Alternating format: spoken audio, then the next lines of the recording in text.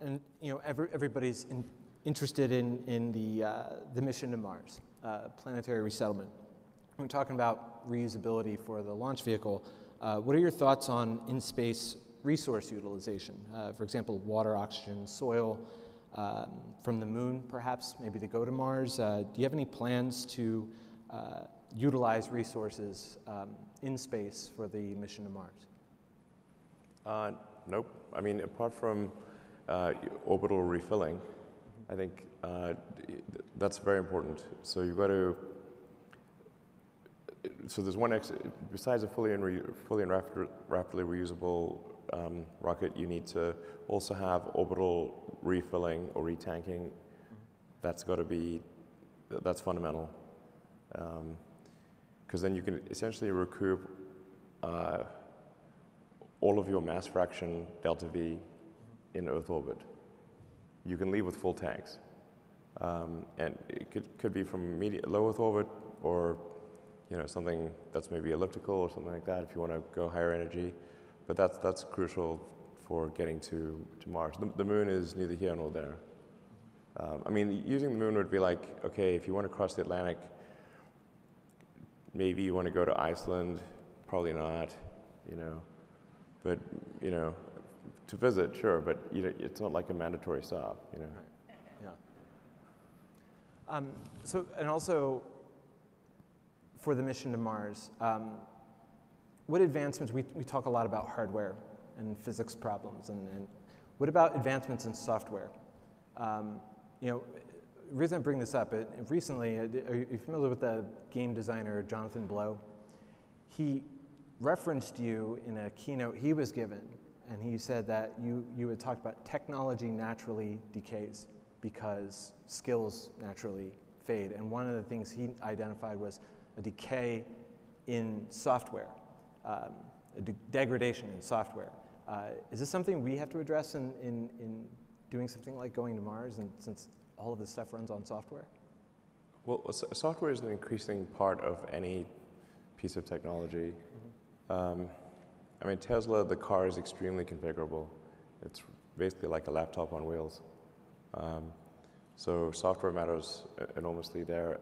Um, and, and really, for, for example, for full autonomy, the only gating factor is software. The hardware is all there that's required. It, it has been for the last couple of years. Uh, well, well, the final piece of hardware was upgrading the computer to have more compute power. Um, so software is extremely important. Um, the point you're alluding to, which is that, you know, what I was referring to is technology does not automatically improve. Right. Uh, people are used to the phone being better every year. Um, although, and I'm an iPhone user, but I think like some of the recent software updates have been like not great. Certainly feeding it to that point. Um, it like broke my email system. Like what the? This is like quite fundamental. Um, so, yeah, um, there sure is a lot of software out there, and some of it's like the, the people that wrote it are retired or maybe dead, you know. So, like now, how do you fix it? It's going to be an issue. Um, I think we definitely need a lot more smart people working software. Um, And not just troubleshooting old problems. Not just troubleshooting old problems. It's actually very important to retire old code bases and, and not just maintain them forever because the, the, the difficulty of maintaining them becomes extremely high. Yeah. At a certain point, you just got to redo the code base. So we'll come back to the Mars mission because I know we've got some uh, audience questions on that. You know, we're at a satellite conference, so I'm going to ask you some questions about satellites. Uh, Starlink. Um, what's the long-term vision for Starlink? Uh, how do you see the role of Starlink as it relates to mobile broadband and 5G? Uh, sure. So, I mean, the, the, whole purpose of SpaceX is really to help make life multiplanetary.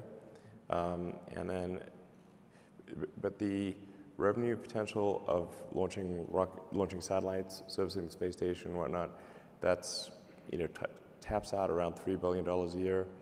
Um, but I think uh, providing broadband is, is more like an order of magnitude more than that, probably 30 billion a year, um, as, as a rough approximation.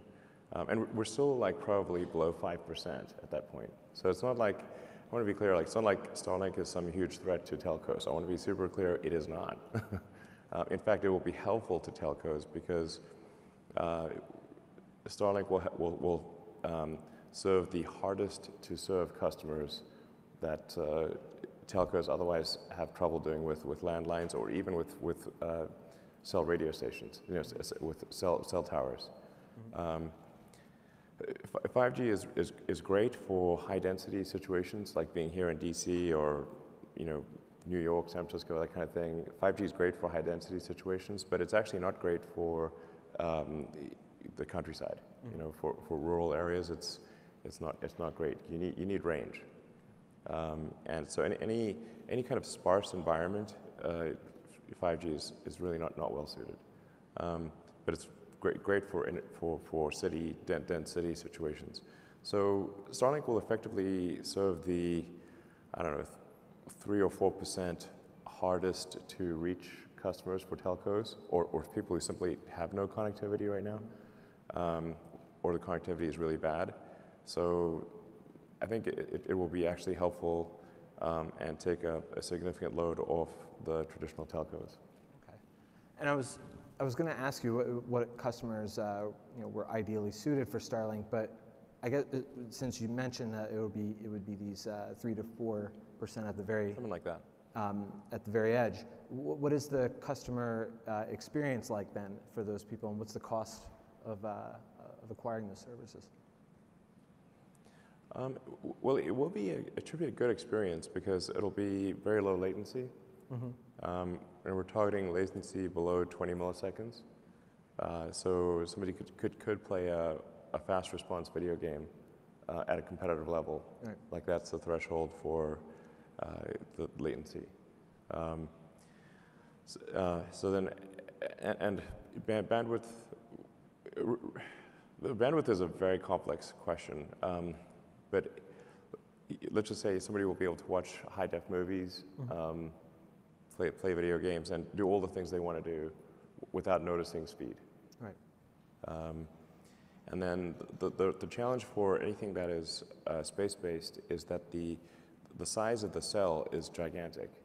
You know, so it's, it's, like I said, it's great for, for uh, very low to maybe, maybe mediums, sort of sparsity situations, but it's not, uh, it's not good for high density situations. Uh, We'll, we'll have some small number of customers in LA, but we, we can't do a lot of customers in LA because the bandwidth per cell is, is simply not uh, high enough.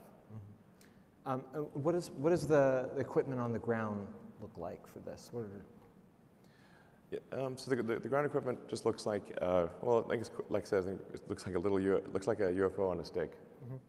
Um, so at least the version one of the user terminal will actually have actuators on it so that it can, it, it can um, improve the pointing accuracy. So you don't have to, it's very important that you don't need a specialist uh, or some, to install. Um, it, the, the goal is that this the, the, the instructions in the box will, there's just two instructions and they can be done in either order. Uh, pointed sky, plug in. And you do it either order, sequence doesn't matter, and it will work, plug and play. literally. but also pointed sky. the sa- you can't see the satellites. If you, if you can't see the satellites, it can't see you. Um, just wanted to talk about just some of the design uh, concerns that were raised by astronomers. Um, can you talk about little, a little bit about how you working maybe working with astronomers to alleviate these concerns, or, or are you working on the design or altering it, or, or is, are the concerns um, overblown? I mean, how do you feel about what has been raised? Um, I, I am confident that we will not cause any impact whatsoever in astronomical discoveries. Zero. That's my prediction. So if- We'll take corrective action if it's above zero. So you're not giving like Orion a hat or anything like that. You're, every, everything's No, I mean, there's, there's a, sometimes people get a little excited because when the, when the satellites are first uh, launched, that they're, they're tumbling a little bit, so they're like, they're kind of like, they're gonna Right. blink, um, and, because they, they haven't stabilized, um, and then, and they're, they're raising their orbit, so they're, they're lower than you'd expect, and they're kind of necessarily gonna reflect in ways that is not the case when they're on orbit.